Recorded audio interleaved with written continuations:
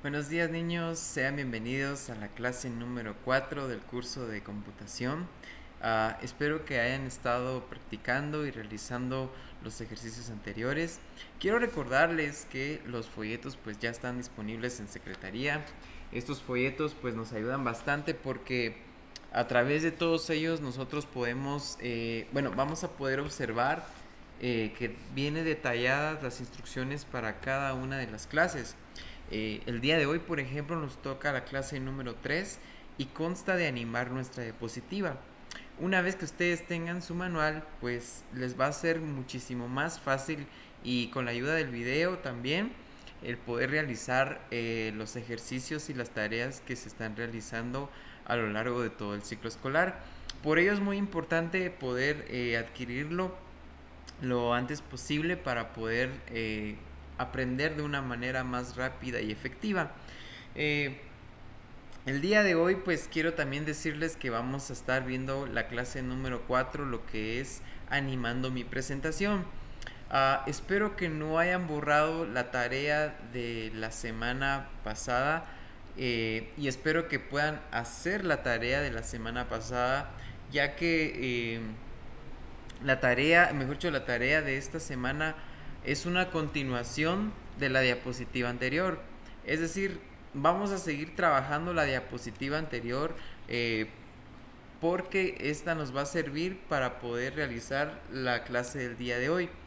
Entonces, si ustedes borraron la presentación, sería bueno eh, volver a hacerla otra vez para que de esta forma eh, ustedes puedan eh, continuar con lo que es la clase del día de hoy. Si ustedes tienen todavía la presentación, pues vamos a seguir utilizándola, ¿ok? Entonces, eh, vamos a empezar en esta hora. Por ejemplo, yo tengo aquí mi presentación de la semana pasada. Si ustedes se recuerdan, constaba del, del tema de la Tierra, mi casa y mi planeta, ¿sí? Entonces, el día de hoy vamos a estar animando las presentaciones. ¿Para qué sirven las, animaciones en las presentaciones? Bueno, estas animaciones sirven mucho para que nuestras eh, diapositivas y presentaciones no se vean muy, ah, muy aburridas, no se vean muy eh, como que tristes, sino que como su nombre lo indica, las animaciones lo que nos ayuda es a animar nuestra diapositiva, es decir, a darle otro, otro enfoque, otro color, otro brillo, a darle eh, otra forma de cómo presentar eh, las diapositivas, es decir, para que no solamente sea una diapositiva un tanto monótona, sino que sea muy dinámica, le da, la anima, le da dinamismo, le da... Eh, llama la atención de las personas. Básicamente eso es lo que hacen las animaciones y para eso nos sirven. Vamos a empezar en esta hora. Entonces, en nuestro manual, de la, en la hoja número 3 de nuestro manual, nos habla de que el título de la primera diapositiva, ¿sí? Es decir, acá vamos en la primera diapositiva, el título de la primera diapositiva nos dice que tiene que estar con una animación de desvanecimiento, ¿ok? Nos venimos acá a la pestaña de animaciones, seleccionamos el cuadro del título, ¿sí? Seleccionamos todo este cuadro del título y entonces nos venimos acá a desvanecer, a la opción de desvanecer. Entonces nos venimos acá a animación y buscamos en entrada desvanecer y listo, ya estará el título animado.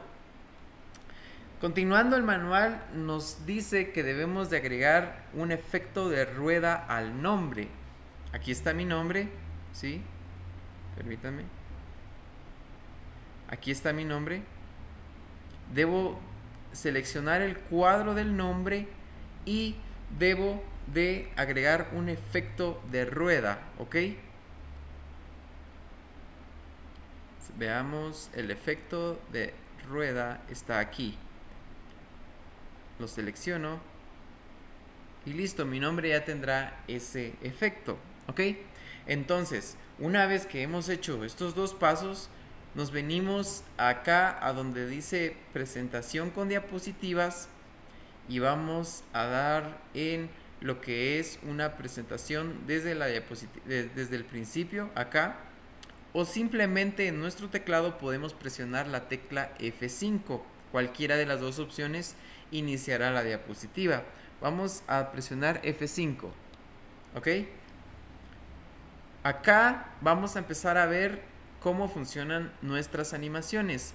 Vamos a darle Enter o la barra espaciadora o vamos a presionar clic. Cualquiera de esas opciones nos va a servir para poder empezar a, para poder empezar a presentar nuestra diapositiva. Entonces vamos a empezar y si se dan cuenta el efecto de las letras es, es de que aparezca poco a poco como un desvanecimiento en este caso para aparecer. Vamos a darle otro, otro, otro clic o otro toque a la barra espaciadora y nuestro nombre ya se presentará con lo que es la animación en la diapositiva. ¿Ok?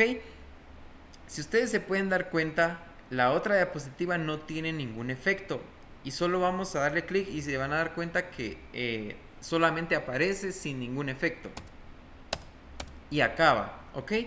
Entonces, el punto de todo esto es de que nosotros debemos de animar la segunda diapositiva. Para ello, eh, nos venimos acá. La tarea para la próxima semana consta de que en la diapositiva 2 eh, se debe, eh, que se realizó la semana pasada en PowerPoint, se debe agregar los efectos respectivos que se han visto en clase, ¿ok? Entonces, nosotros vamos a agregar un efecto de zoom, ¿ok? Para la tarea, lo que vamos a hacer es de que nos vamos a ubicar en la diapositiva número 2 y vamos a agregar efecto de zoom a cada una a cada uno de los de los elementos de nuestra diapositiva. En este caso vamos a agregar zoom al título, vamos a agregar zoom a lo que es ah, el, cuadro de texto que tenemos acá, donde nosotros escribimos eh, cómo debemos cuidar nuestro planeta y por qué nos gusta, ¿ok? Entonces, vamos a empezar con lo que es, lo que ustedes van a hacer es lo siguiente, o sea, van a seleccionar esto, van a venirse acá a, animaciones y van a buscar el efecto de zoom, ¿ok? Entonces, para el efecto de zoom lo tenemos acá. Vamos a darle clic y nos aparecerá, ¿ok? Ahora, en este caso vamos a seleccionar cada uno de los, eh, cada una de las viñetas o cada uno de los eh, párrafos, ¿ok? Seleccionamos nuestro primer párrafo y vamos a darle clic a Zoom, ¿ok? Selecciono el segundo párrafo completo y selecciono de nuevo zoom. Listo. Eso es lo que ustedes deben de hacer. En la diapositiva 2 ustedes van a agregar estos efectos tanto al título como a cada uno de los ah, de los párrafos, ¿ok? Debe de ser el efecto de zoom, de acuerdo a nuestro manual. Este es el que nosotros debemos de agregar, ¿ok?